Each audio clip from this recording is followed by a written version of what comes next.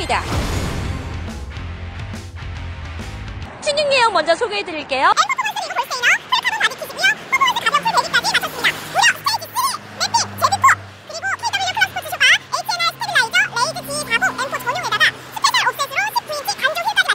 지금부터 이 어마어마한 BMW M4 만나보시죠.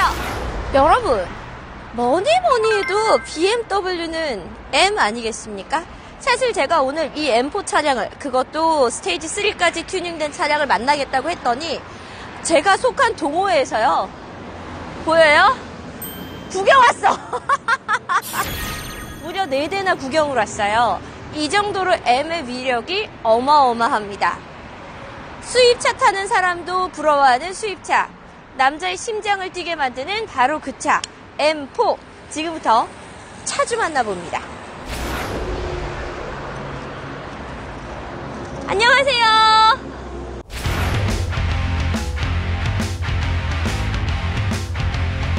사실 BMW 타는 모든 차주들의 로망 중에 하나가 M이잖아요. 어, M4를 타시는 이유가 있나요? 원엠 팔고 그냥 못 탈까 하다 가지고 왔는데 편해서 타요. 어, 편하다고요? 네. 글쎄 편하 우리가 편하다라고 생각할 땐 주로 승차감과 연비를 생각하는데 둘 다 별로 아닙니까? 연비가 몇 정도 나와요? 잘 나오면 14, 15 나와요.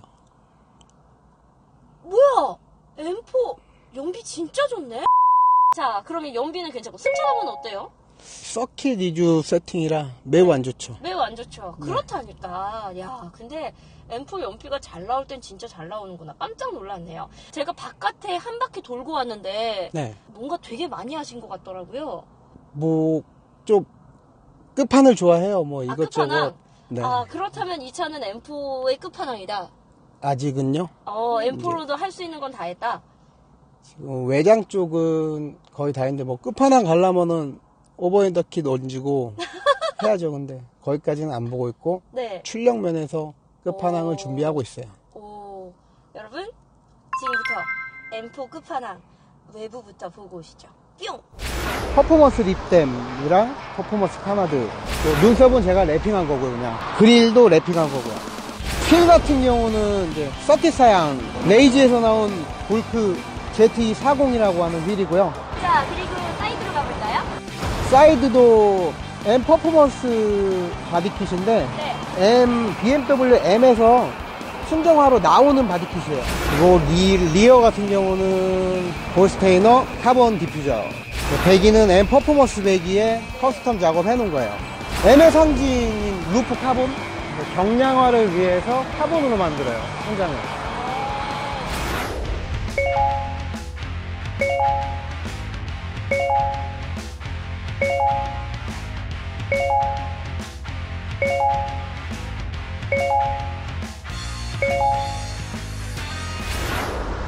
그때 그때 구입할 때마다 가격 기억은 잘 못하겠어요. 기다리는 거 싫어해서 국내에 있으면 바로 사고 아니면 해외 직구로 구매를 하죠. 아, 자, 이렇게 해서 오늘의 주인공 M4 끝판왕의 외부를 살펴봤어요. 자, 내부로 좀 들어가 볼게요. 네.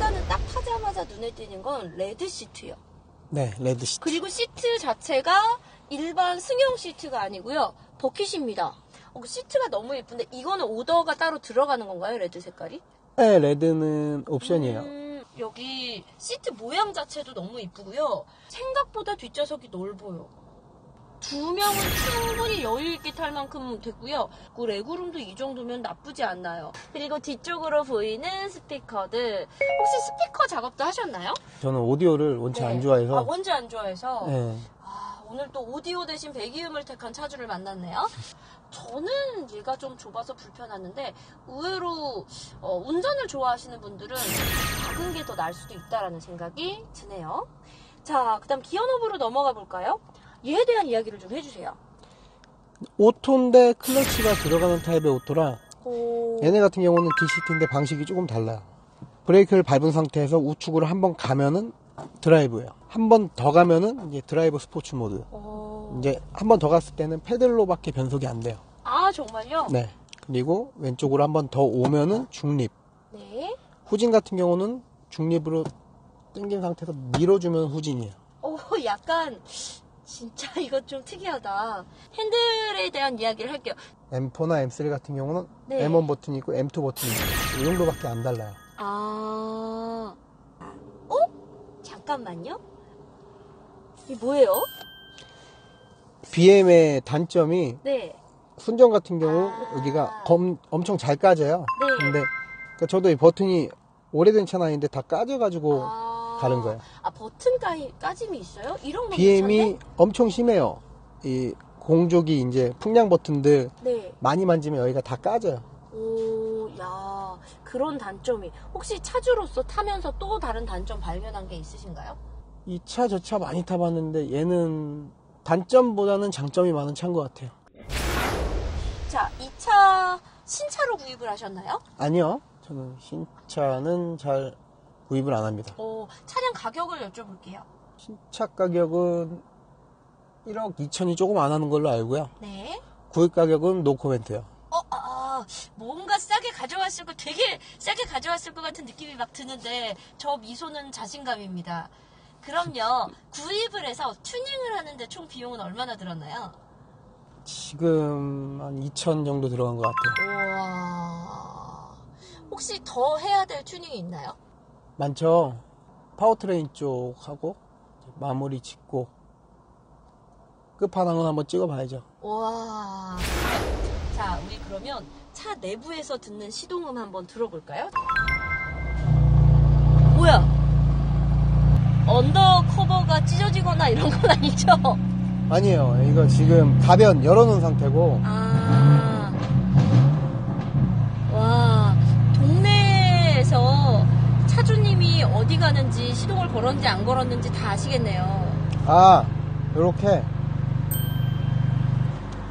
아, 이게 가변을 지금 닫아놓은 상태인가요? 순정은 가변 컨트롤이 안 되는데 네. 이제 JB4라는 sub ECU 보조 칩이 있거든요. JB4. 걔를 네. 걔를 달면은 요 네. BC 버튼으로 지금 가변 off 상태고 얘 같은 경우는 M1이나 M2 모드에서 특정 RPM에서 이제 가변이 열려요. 악셀링에 따라서. 아. 그리고 3초 더 눌러주면은 아예 다 닫히는 거예요. 그냥 순정으로 아, 다니는 지금은 거예요. 닫은 거군요. 아예 다 닫힌 거고 어, 새벽에 몰래 나갈 때는 이렇게 다 닫고. 3초 한 번 더 눌러주면은 다시 열려요. 아, 우와!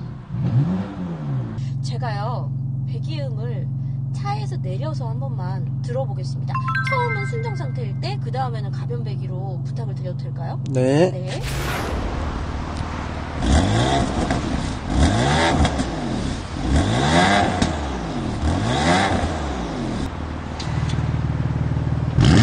우와!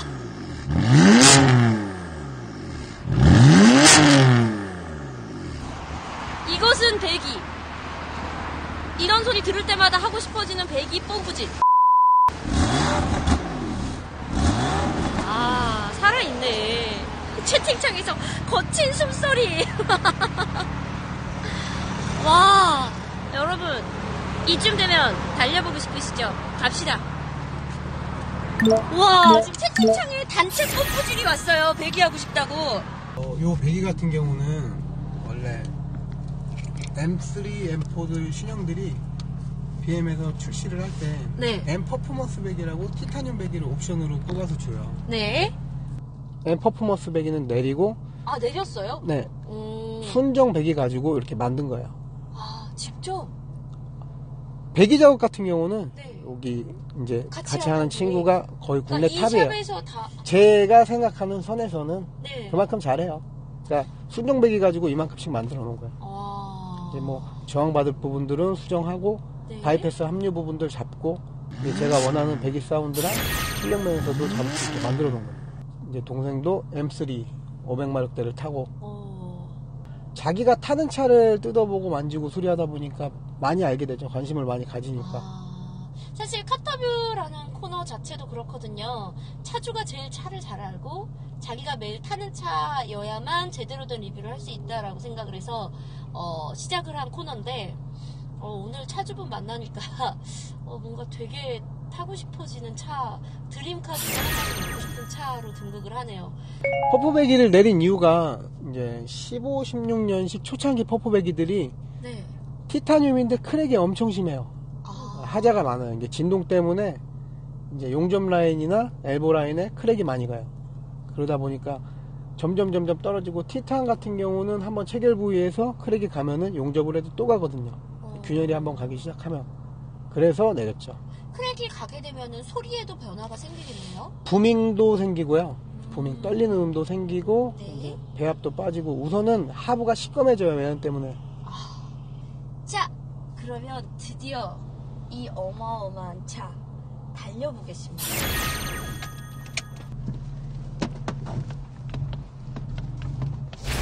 M이다. 내 노선은 M이다라고 생각한 건 언제부터였어요?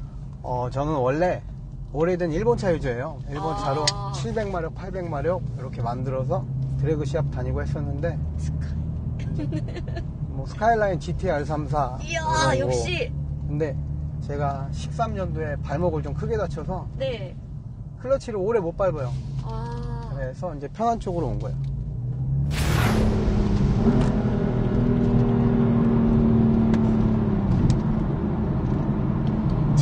제가 미투 당할까봐 약간 단어를 좀 골라가면서 하는 편인데 굉장히 운전하시니까 성격이 좀 변하시네요. 아까까지는 굉장히 공부 잘해 보였다면 지금은 약간 섹시해 보인달까. 아. 어, 근데 진짜 달리는 맛이 나겠네요 하셨는데 어, 가- 맞다고 들었어요. 얘네는 근데 트랙에서 재밌는 차예요. M4로 트랙도 올라가셨었나요? 근데 저는 제가 타는 차는 트랙, 서킷 때 인제 쪽 많이 가요. 아, 어때요? 달려보면 M4만의 장점, M4만의 강점 이런 게 있다면요? 장점이라면은 기존의 원엠이랑 비교할 때 어, 출력면에서도 높고 얘네 같은 경우는 인터쿨러가 순행식이에요. 냉각수가 돌아요. 그렇기 때문에 원엠 기준으로 인제 서킷 세 바퀴 어택하면 오일온을 130도 이상 찍는데 네.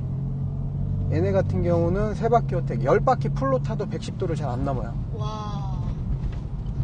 사실은 진짜로 여러분 트랙에서는 온도와의 싸움이거든요.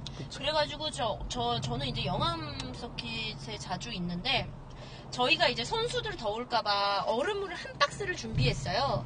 근데 선수들이 다 그 얼음물을 가져가더니 차 본넷에다가 그래서 정작 마실 물은 하나도 안 남고 전부 차에다 양보한 적이 있습니다. 네, 그래서 아 이게 장난 아니구나. 네.